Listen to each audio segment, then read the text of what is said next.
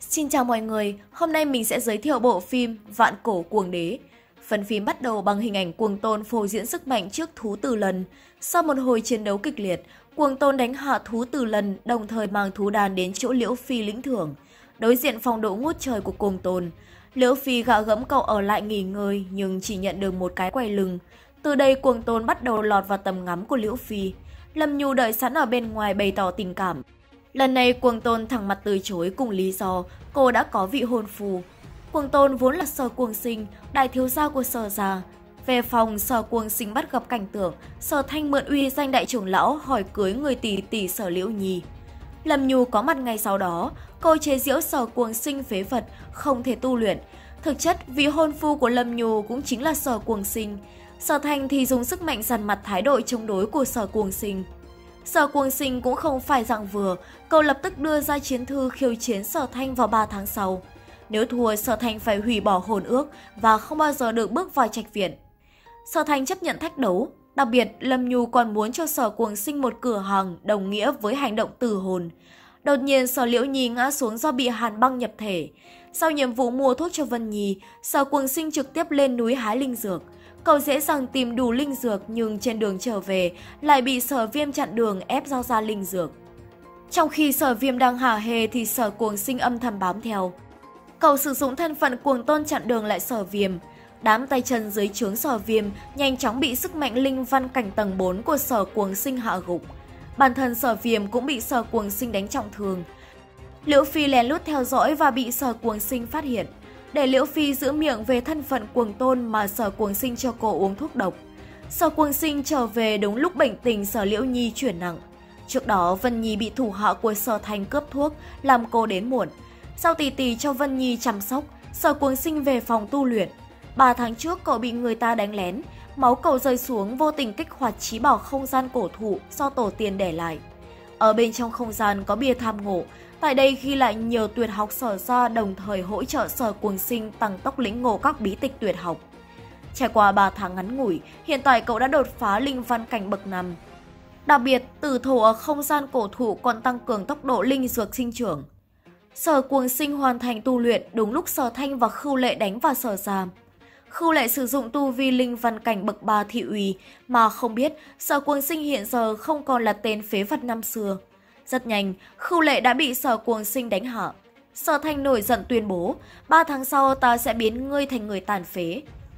Xác định phải nhanh chóng gia tăng thực lực, sở cuồng sinh hái cây tử linh để mang vào không gian cổ thụ trồng.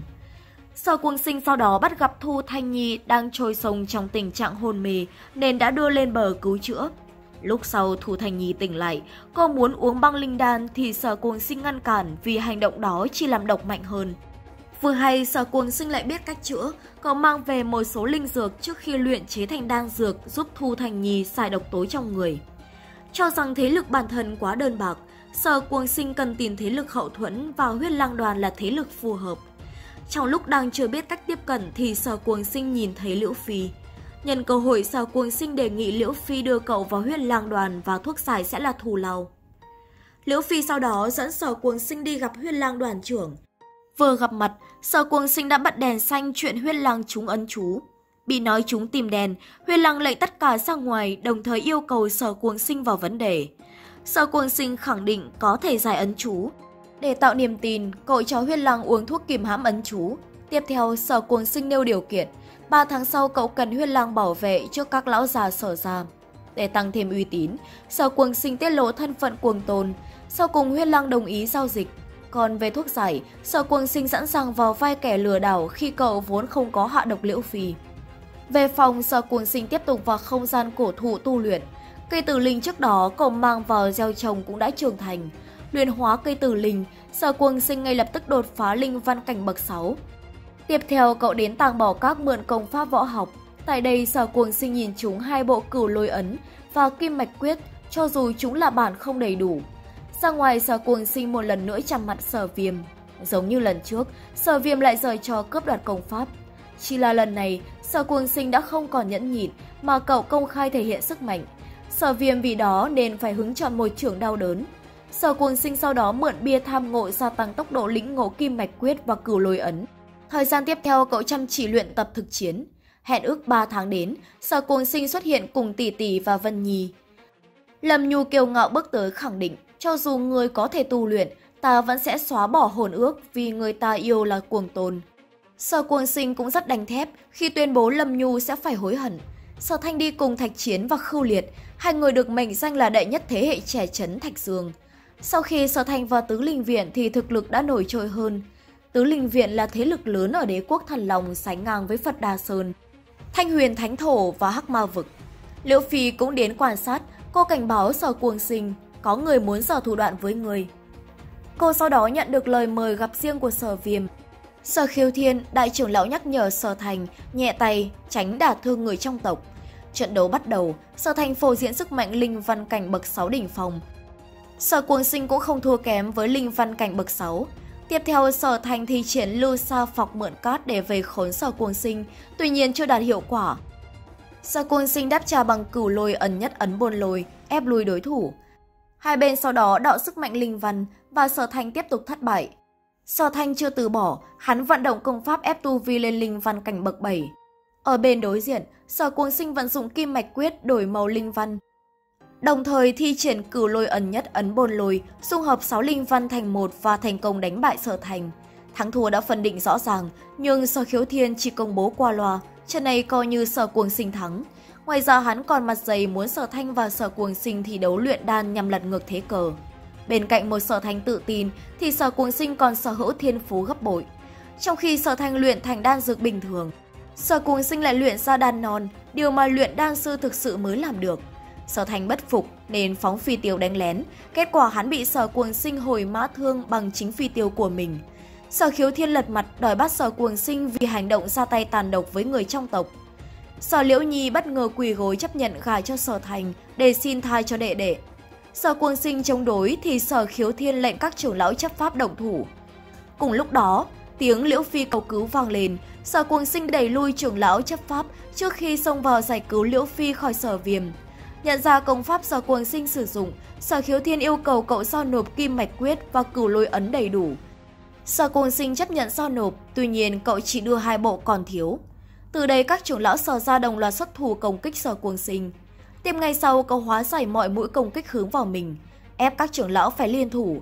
Đối mặt với chiêu thức phối hợp rất mạnh, nhưng Sở Cuồng Sinh vẫn bình tĩnh giải quyết. Thủ hạ thất bại làm Sở Khiếu Thiên phải đích thân động thủ cùng tu vi hóa tháp cảnh bậc 1. Chỉ là Sở Cuồng Sinh chưa có cơ hội thể hiện thì Huyết Lang xuất hiện hỗ trợ. Sở Khiếu Thiên gọi ra trưởng lão thì Huyết Lang cũng mang đến Huyết Lang đoàn ứng chiến. Trận hỗn chiến nhanh chóng nổ ra. Trong cuộc đấu với Huyết Lang, Sở Khiếu Thiên chuyển hướng đánh lén sang Sở Liễu Nhi và Liễu Phi. Thế vậy, Sở Cuồng Sinh cũng tham chiến. Đứng trước tình thế một đầu hai, Sở Khiếu Thiên sử dụng chấn nhạc chuông bảo vệ.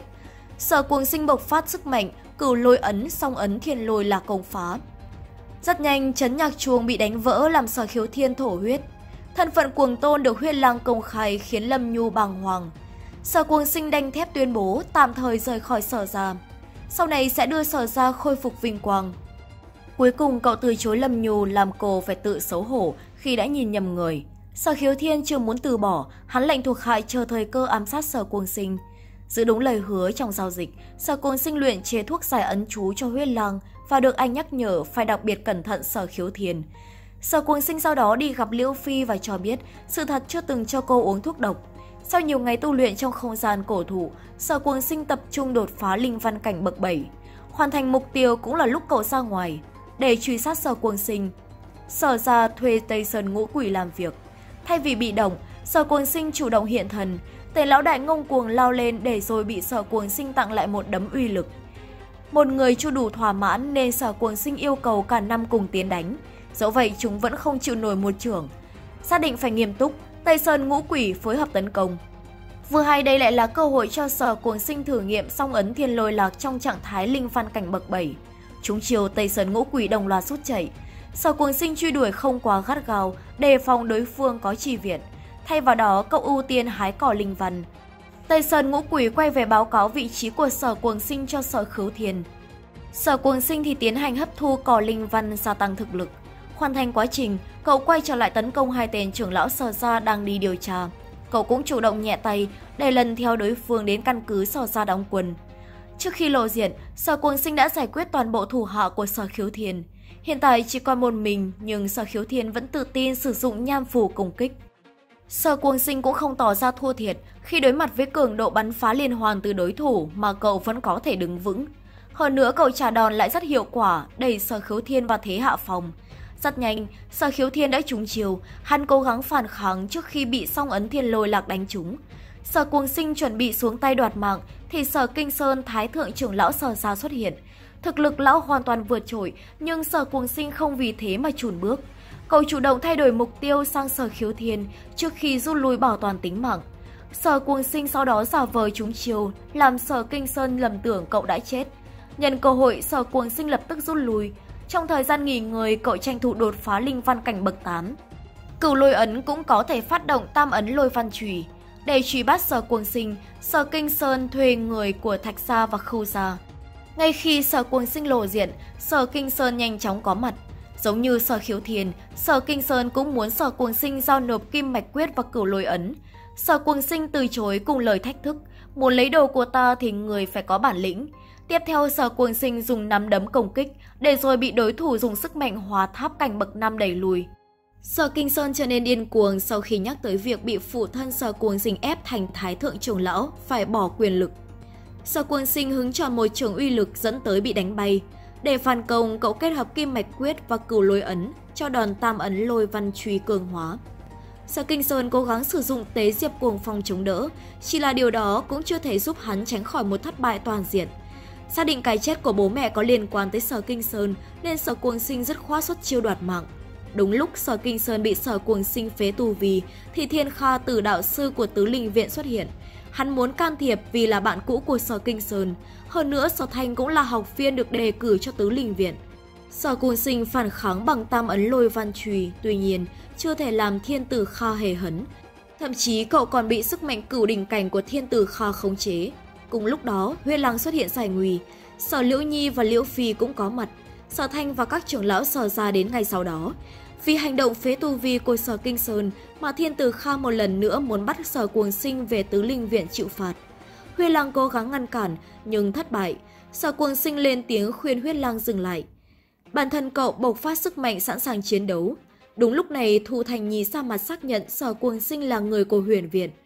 Cô có quyền tuyển thẳng học viên, hơn nữa tứ linh viện nghiêm cấm can thiệp vào viện khác nên thiên tử Kha phải bất lực bỏ qua. Thu Thanh Nhi nhắc nhở, trong vòng một tháng, Sở Cuồng Sinh cần phải tới huyền viện trình diện. Mỗi tháng huyền viện sẽ cho mỗi học viên 10 viên linh đan văn. Đặc biệt sau khi tiếp nhận lễ rửa tội, học viên sẽ được cung cấp tài nguyên xây dựng giới tháp. Đứng trước những ưu đãi quá lớn, Sở Cuồng Sinh chấp nhận gia nhập huyền viện. Đám người trước đó bao vây Sở Cuồng Sinh hiện tại lại quay lại nịnh nọt. Sở Cuồng Sinh cảm tạ hành động trợ giúp của huyết lang, đồng thời đánh dấu chủ quyền về mặt tình cảm với Liễu Phi. Hôm sau, Sở Cuồng Sinh từ biệt mọi người đến Tứ Linh Viện bắt đầu một cuộc hành trình mới. Tứ Linh Viện hội tụ thiên tài của quận Tứ Linh. Học viên trong huyền viện đều có tu vi trên hóa tháp cảnh, nên Sở Cuồng Sinh muốn nhanh chóng gia tăng thực lực trước khi nhập học.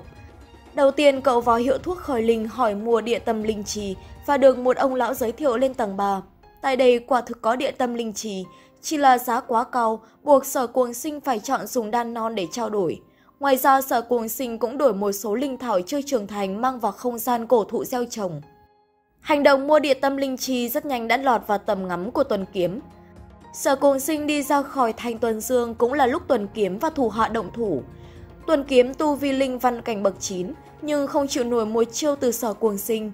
Thấy vậy, tên thủ hạ phát động sức mạnh trả thù cho thiếu chủ. Thực lực hắn đã đạt hóa tháp cảnh, tuy nhiên, đối mặt với tam ấn lôi văn trùy thì vẫn chỉ là châu chấu đá xe. Cho rằng phải đền bù tổn thất tinh thần, sở cuồng sinh trắng trợn cướp đoạt nhận không gian của tuần kiếm. Cùng lúc đó, tuần thiền, thành chủ thành tuần dương đến, nên cuồng sinh chọn cách rút lui. Cậu sau đó tiến vào không gian cổ thụ gieo trồng số linh dược vừa mua được. Đồng thời sử dụng địa tâm linh trì luyện chế địa tam đàn, hấp thu một lần ba viên địa tam đàn, Sở Cuồng Sinh đột phá linh văn cảnh bậc 9. Trên đường đi huyền viện, Sở Cuồng Sinh bị Tần Lệ, ám vệ của thành chủ Thành Tuần Dương chặn đường. Tần Lệ là hóa tháp cảnh bậc 2 nhưng mọi đòn công kích tung ra đều bị Sở Cuồng Sinh nhẹ nhàng cản phá. Đổi lại, Sở Cuồng Sinh chuyển sang tấn công cũng chưa đạt hiệu quả. Biến số chỉ đến sau khi Sở Cuồng Sinh tung ra tam ấn lôi văn chùy. Tần lệ kháng cự bất thành dẫn tới phải bỏ chạy giữ mạng. Nhẫn không gian tần lệ bỏ lại có một số linh dược và đồng vàng, đặc biệt là bộ công pháp kiếm liền võ. Thanh kiếm tần lệ sử dụng cũng được sở cuồng sinh thu về. Nguy cơ được giải trừ, sở cuồng sinh thẳng tiến về huyền viện của tứ linh viện.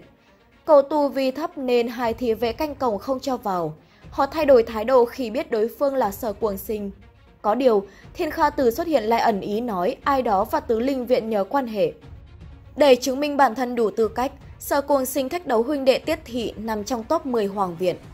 Tiết Huỳnh thì triển ác linh chú phóng xuất một đàn quạ đen và nhanh chóng bị sở cuồng sinh giải quyết.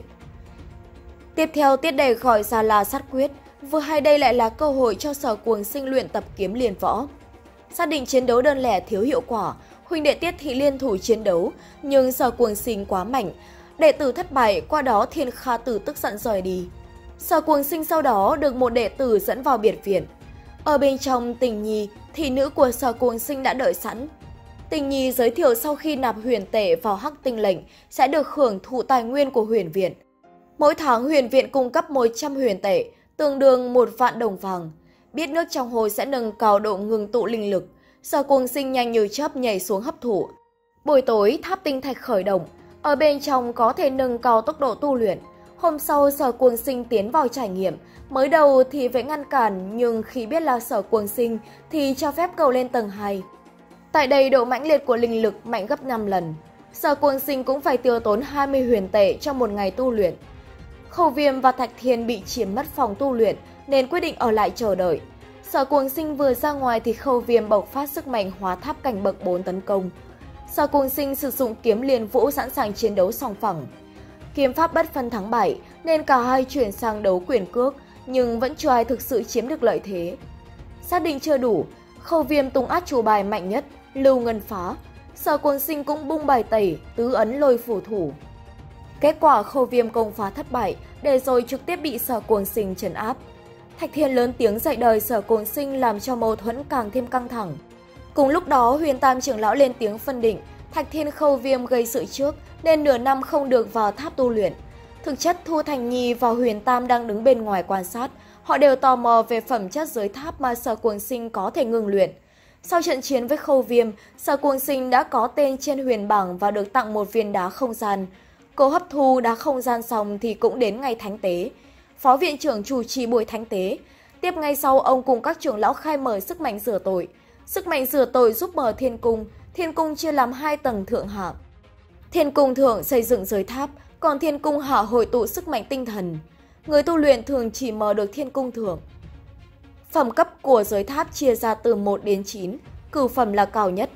Tất cả đã ngưng luyện xong giới tháp, duy chỉ sở cuồng sinh vẫn không có động tĩnh. Điều đó xuất phát từ việc cậu mở cả thiên cung tầng thượng lẫn tầng hạ để có thể tu luyện sức mạnh thời gian. Giới tháp siêu phẩm vượt quá tầm hiểu biết của các trưởng lão. Hơn nữa, cũng vì an toàn nên sở cuồng sinh chọn cách che giấu. Tiếp theo là cuộc tỉ thí giữa các đệ tử mở tháp. Ai giành chiến thắng sẽ nhận được phần thưởng Thiên Hoàng Giám, xác định phải đánh bại tất cả, sở cuồng sinh một lần thách đấu cả ba. Với tốc độ nhanh nhẹn cùng khả năng chiến đấu thượng thừa, nên sở cuồng sinh dễ dàng áp đảo các đối thủ. Tiếp theo cậu sử dụng ngũ ấn lôi luân chạm công phá vòng bảo vệ mà ba đối thủ thi triển.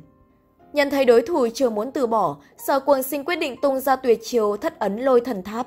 Sức mạnh mà thần tháp tạo ra quá lớn, làm cả ba hợp sức cũng không thể chống đỡ được. Cuối cùng sở cuồng sinh đứng đầu và nhận được thiên hoàng giám. Trước đó, sở cuồng sinh đả thương người đệ đệ tuần kiếm, nên tuần lạc băng vẫn luôn nung nấu ý định trả thù. Trong khi đó, sở cuồng sinh đặt mục tiêu phải gia tăng thứ hạng trên huyền bảng, đầy đủ tư cách vào tầng 3 tháp tinh thạch tu luyện. Từ đây, cậu đến đấu trường khiêu chiến hứa minh hạng 45 huyền bảng. Để tiết kiệm thời gian, sở cuồng sinh trực tiếp sử dụng thất ấn lôi thần tháp đánh bại hứa minh.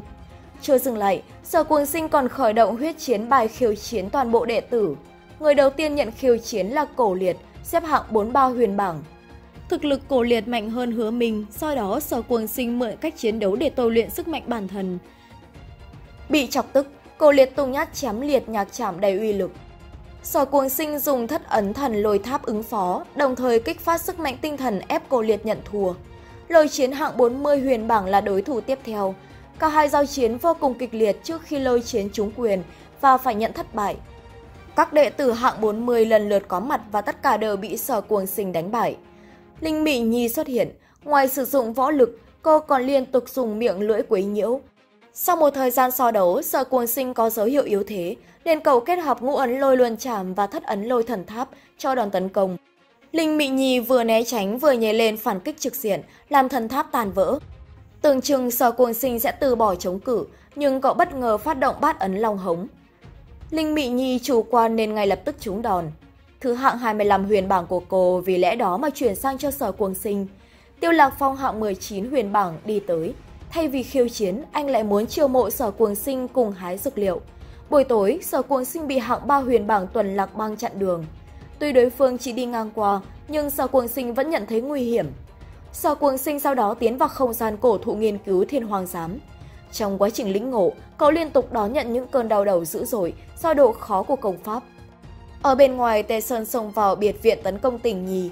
May mắn sở cuồng sinh kịp thời can thiệp. Giải thích cho nguyên nhân động thủ, Tề Sơn công khai tiết lộ có người phái mình đến dạy dỗ sở cuồng sinh. Vấn đề là đứng trước sức mạnh quá vượt trội của sở cuồng sinh thì Tề Sơn chỉ có thể sợ hãi rút chảy. Cùng lúc đó Tiêu Lạc Phong tìm đến, anh giới thiệu hai người đồng hành là Tử Tiên Bạch Lãng và luyện dược sư Dược Phong Tử. Bạch Lãng rất nghiêm túc, anh không muốn có người kéo chân. Để chứng minh đủ tư cách tham gia, Sở Cuồng Sinh chấp nhận đỡ một chiêu của Bạch Lãng. Đứng trước công pháp địa nguyên ngũ tinh linh hồ sùng, Sở Cuồng Sinh sử dụng bắt ấn lôi long hồng chống đỡ và đã thành công ngăn chặn. Bạch Lãng tâm phục khẩu phục, sau đó Tiêu Lạc Phong gọi Thanh Linh ưng, hung thú sở hữu tốc độ rất nhanh làm thú cưỡi. Nhận được tin Tề Sơn thất bại, Tuần Lạc bằng quyết định đích thân xuất trận. Địa điểm mà Tiêu Lạc Phong và mọi người hướng tới là Hắc Long Vực, một nơi đầy rẫy hung hiểm nhưng tồn tại nhiều bảo bối. Sở Cuồng Sinh chỉ quan tâm tới Bích Hỏa Lưu Ly Hoa, linh dược chữa bệnh cho tỷ tỷ. Bốn người vừa đặt chân xuống nơi thì bị một nhóm sơn tặc bao vây đòi cướp đồ. Có điều bọn chúng lại quá yếu, không những không cướp được, tên lão đại còn phải dẫn Sở Cuồng Sinh đi núi Tề Giác. Tề Sơn và đồng bọn lúc này cũng đã vào vị trí chờ con mồi cắn câu. Mặt đất đột nhiên rung chuyển dữ dội bởi sự xuất hiện của tê giác đen. Xác định đó chỉ là những con non nên Tiêu Lạc Phong chủ động dẫn chúng đi nơi khác. Tê giác lớn giờ mới rời khỏi hàng. Thấy vậy, sở cuồng sinh thi triển thất ấn lôi thần tháp. Dược phong tử là thanh linh đằng còn bạch lãng phóng xuất từ hổ tấn công phủ đầu. Chỉ là da của tê giác đen quá dày nên không bị tổn thương, Trừ chấp nhận từ bỏ, Bạch Lãng và Dược Phong Tử lần lượt khống chế tê giác đen, tạo cơ hội cho sở cuồng sinh dùng bát ấn lôi lòng hống tấn công trực diện. Một lần nữa chiến thuật thất bại, thậm chí còn vô tình chọc tức tê giác đen. Tranh thủ lúc Bạch Lãng và Dược Phong Tử cầm chân. Sở cuồng sinh phóng xuất sức mạnh cho đòn cửu ấn lôi hoàng trụ quyết định. Tê giác đen gồng mình chống đỡ nhưng sau cùng vẫn bị cửu lôi ấn bào mòn thể lực. Hung thú đã sức cùng lực kiệt, cũng là lúc Bạch Lãng và Dược Phong Tử thu dọn tàn cục. Tiêu Lạc Phong quay về nên bốn người tiếp tục đi tìm dược liệu. Dọc đường, Sở Cuồng Sinh thu lại tất cả dược liệu non để mang vào không gian cổ thụ, gieo trồng. Trên đường trở ra, Sở Cuồng Sinh và mọi người bị Tề Sơn cùng đồng bọn truy kích. Tiêu Lạc Phong bạch lãng, Dược Phong Tử tự nguyện ngăn cản đám tay chân của Tề Sơn. Bản thân Tề Sơn tu vì đã đạt hóa tháp cảnh bậc 7 nên tự tin gọi ra một khối đá lớn đối đầu với ba con rồng sấm của Sở Cuồng Sinh. Tề Sơn đối chiến thất bại, qua đó tự đặt tính mạng vào hiểm cảnh. Hắn kêu gọi hỗ trợ làm Tuần Lạc Băng ra mặt giải cứu. Buộc tội sở cuồng sinh tàn độc với đồng môn, Tuần Lạc Băng xuất thủ trừng phạt. Tuy nhiên gặp phải sự kháng cự quyết liệt đến từ sở cuồng sinh. Hơn nữa, Lạc Băng chảm có khả năng biến tất cả mọi thứ chạm vào thành băng, cũng bị cửu ấn lôi hoàng trụ của sở cuồng sinh hóa giải. Đặc biệt, lôi hoàng trụ còn có thể tấn công nên Tuần Lạc Băng bất cẩn đã phải trúng đòn. Tuần Lạc Băng nổi giận, thi triển huyền băng, chuyển linh luân với các linh luân sắc bén. Lần này, Bạch Lãng, Dược Phong Tử hỗ trợ câu giờ cho Sở Cuồng Sinh vận hành Thiên Hoàng Giám. Các đòn công kích của Tuần Lạc Băng đều bị Thiên Hoàng Giám thu hồi, thậm chí Thiên Hoàng Giám còn trả lại những gì đã nhận vào. Tuần Lạc Bằng cố gắng bỏ chạy, nhưng vẫn không tránh khỏi kết cục bị chính chiêu thức của mình đánh trúng. Sở Quân Sinh sau đó từ bỏ truy đuổi do sức mạnh tiêu hao quá nhiều. Tuần Lạc Băng trọng thương nặng, dẫu vậy hắn vẫn tìm cách báo thù. Sở quân sinh do có chuyện cần xử lý nên tạm thời ở lại Hắc Long Vực. Cậu sau đó đi vào Hắc Long Thành đợi buổi đấu giá gần nhất. Trong lúc sở quân sinh chuẩn bị nhận phòng thì Tần Thiên yêu cầu nhường lại và lập tức bị cậu từ chối. Xác định phải nhanh chóng kiếm tiền, sở Cuồng sinh tranh thủ thời gian luyện dược. Hôm sau buổi đấu giá diễn ra, Sở Cuồng Sinh đến gặp trưởng quỹ để gửi đấu giá số đan dược vừa luyện. Nổi bật trong số đó là phá mạch đàn có giá khởi điểm lên tới 50 vạn kim tệ. Sự hiện diện của Sở Cuồng Sinh lập tức lọt vào tầm ngắm của Tần Thiên. Long Linh Nhi xuất hiện chủ trì buổi đấu giá. Vật phẩm đầu tiên được mang lên sàn là giáp pha lề. Tiếp theo các đan dược trung cấp nhất phẩm do Sở Cuồng Sinh gửi đấu giá được mang lên. Sau một hồi tranh đấu, Sở Cuồng Sinh thu về 60 vạn kim tệ. Vật phẩm thứ ba chính là bích hỏa lưu ly hòa, Từ mức 10 vạn khởi điểm, tàu chấn nhanh như chớp nâng lên 50 vạn. Sở Cuồng Sinh cạnh tranh với 60 vạn. Tiếp ngay sau Tần Thiên cũng nhập cuộc 70 vạn. Sở Cuồng Sinh quyết không từ bỏ, cậu liên tục nâng giá cao hơn Tần Thiên để rồi thành công mang về bích hỏa lưu ly hòa với 100 vạn kim tệ. Phá mạch đan được mang lên sàn, Tần Thiên và các thiếu chủ trong tứ đại gia tộc Hắc Long Vực đều muốn sở hữu nên lần lượt nâng giá. Từng chừng 230 vạn của Tần Thiên sẽ là cuối cùng, nhưng bất ngờ sở cuồng sinh tăng lên 300 vạn. Tần Thiên bị mắc bẫy do đó phải bỏ ra 400 vạn để sở hữu phá mạch đan. Vật phẩm cuối cùng trong buổi đấu giá là công pháp địa nguyên cửu tình, xích viêm quyết. Thích ra mở màn với 500 vạn kim tệ. Tiếp ngay sau lần lượt Cát Gia, Nghiêm Gia và Cổ Gia cũng tham gia. Tần Thiên trước đó luôn im lặng, đến lúc sắp ngã ngũ thì hắn đưa ra con số 2.500 vạn, khiến cho tứ đại gia tộc phải bất lực. Buổi đấu giá kết thúc, Sở Quần Sinh đi nhận bích hỏa lưu ly hoa và số kim tệ còn thừa. Long Linh Nhi xuất hiện dùng chiều mỹ nhân kế thăm dò chuyện Sở Cuồng Sinh là luyện đan sư, làm cậu ngại ngùng rời đi. Trong khi đó, Tần Thiên bắt đầu xuất thành, bám theo sau là tứ đại gia tộc còn lại. Sở Cuồng Sinh cũng âm thầm quan sát đằng xa, Đi được một đoạn thì Tần Thiên dừng lại, vạch chân đám người phía sau âm mưu cướp xích viêm quyết. Đặc biệt gia chủ của tứ đại gia tộc có tù vì hóa tháp canh đỉnh phong, còn tham gia tranh cướp. Tần gia cũng có hậu chiêu khi gia chủ và người của Nguyễn Linh Tông đã mai phục từ trước. Cuộc chiến giữa tứ đại gia tộc và tần gia Nguyễn Linh Tông lập tức nổ ra. Với số lượng thua thiệt, tứ đại gia tộc nhanh chóng bại trận. Bất ngờ viêm gia chủ chuyển hướng khống chế Tần Thiên, Tần gia chủ can thiệp, lại vô tình làm nhẫn chữ vật rơi vào tay sở cuồng sinh. Từ đây cậu bắt đầu bị ngũ đại gia tộc và Nguyện Linh Tông truy sát. Đừng cho các co thủ hóa tháp canh đỉnh phòng, sở cuồng sinh bị dồn vào hẻm vực. Cậu sử dụng cửu ấn lôi hoàng trụ phản kháng hóa giải đợt công kích đầu tiên. Tiếp theo cậu gọi ra thiên hoàng giám phòng thủ và hoang linh chấn nhạc trảm phản công. Bất ngờ với năng lực của sở cuồng sinh nên tần gia chủ bị phản vệ, Tần Thiên lao đến báo thù thì bị tinh thần lực của sở cuồng sinh đánh bại. Xác định không diệt sở cuồng sinh sau này tất thành đại hỏa. Tần gia chủ đề nghị tứ đại gia tộc cùng tham chiến. Cùng lúc đó, Long Liệt Thiên ra mặt bầu kê sở cuồng sinh. Tu vì ông đã đạt cừu đỉnh cảnh nên tần gia chủ, thậm chí cả ngũ đại gia chủ đều chưa đủ sức đánh lại. Bất lực trong việc giành về xích viêm quyết, ngũ đại gia tộc đồng loạt rút lui. Nhận được thư của tứ linh viện, Sở Cuồng Sinh gấp rút hỏi mượn Long Liệt Thiền thú ngự phòng. Ngoài ra cậu còn nhờ Long Liệt Thiền giúp tìm người. Tranh thủ thời gian, Sở Cuồng Sinh tu luyện đột phá lên hóa tháp cảnh bậc 4. Long Linh Nhi đưa người đến cũng là lúc Sở Cuồng Sinh xuất phát trở về. Nhận thấy Long Linh Nhi đã đồng lòng, Long Liệt Thiên gợi ý con gái và Tứ Linh Viện học tập. Lúc này ở Tứ Linh Viện, ba người Tiêu Lạc Phong, Bạch Lãng, Dược Phong Tử đã bị Tuần Lạc băng bắt lại với tội danh ám hại đồng môn. Rồi hành hình xử phạt chuẩn bị vung ra thì sở cuồng sinh cưỡi thú, ngự phong trở về. Trước đó từng có mâu thuẫn nên thiên kha tử cho phép tuần lạc băng xử phạt luôn sở cuồng sinh. Sở cuồng sinh phản kháng quyết liệt khiến tuần lạc băng nằm đỏ đất. Thiên kha tử chưa đợi sở cuồng sinh giải thích đã vội đồng thủ. Lần này đích thân Thu Thành Nhi can thiệp. Sở cuồng sinh sau đó dẫn người đã cùng tuần lạc băng và tề sơn hạ sát thủ với mình ở núi tề giác lên. Tuần lạc băng chối cãi thì sở cuồng sinh mang ra ngọc sản liên lạc. Nhân chứng vật chứng đầy đủ, Thiên Kha Tử xử phạt Tuần Lạc Băng và Tề Sơn 20 roi hình.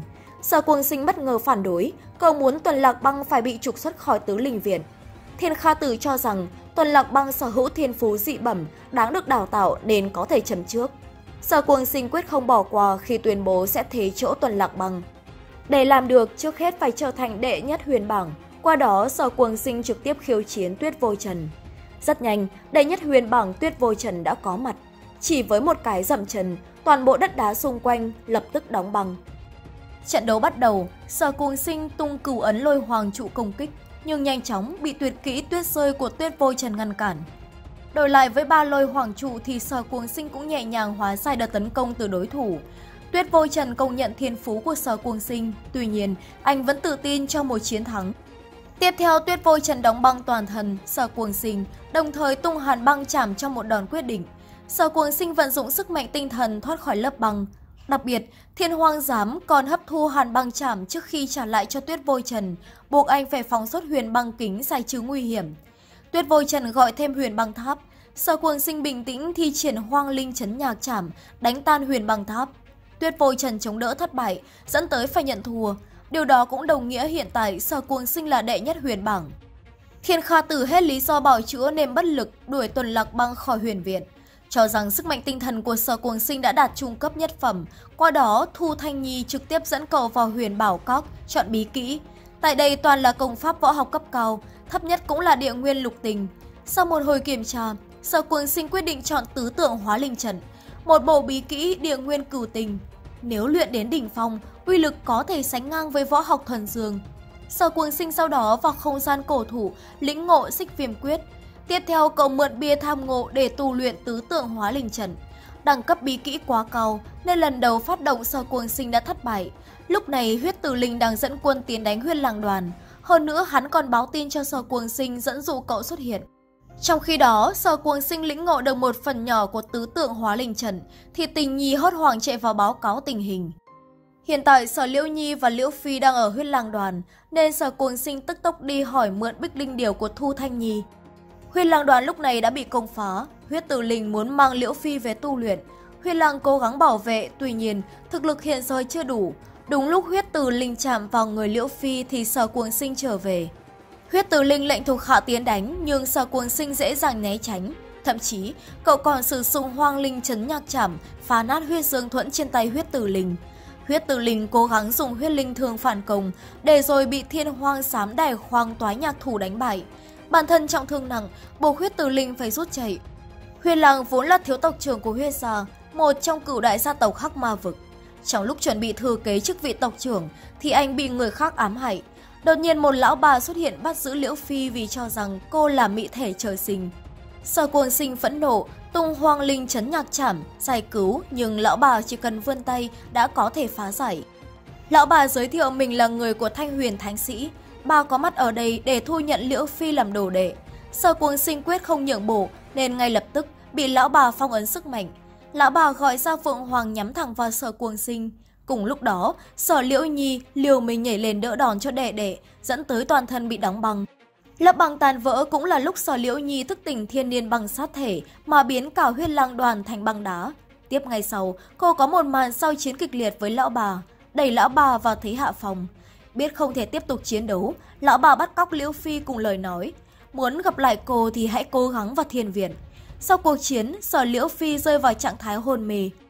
Theo lời huyên lăng, thanh huyền thánh sĩ tùy ít người, nhưng bọn họ đều sở hữu tu vi tuyệt đỉnh. Sở cuồng sinh sau đó đưa tỷ tỷ về tứ linh viện chữa trị cùng với lời tự nhủ, sẽ có ngày ta sẽ đập nát các người.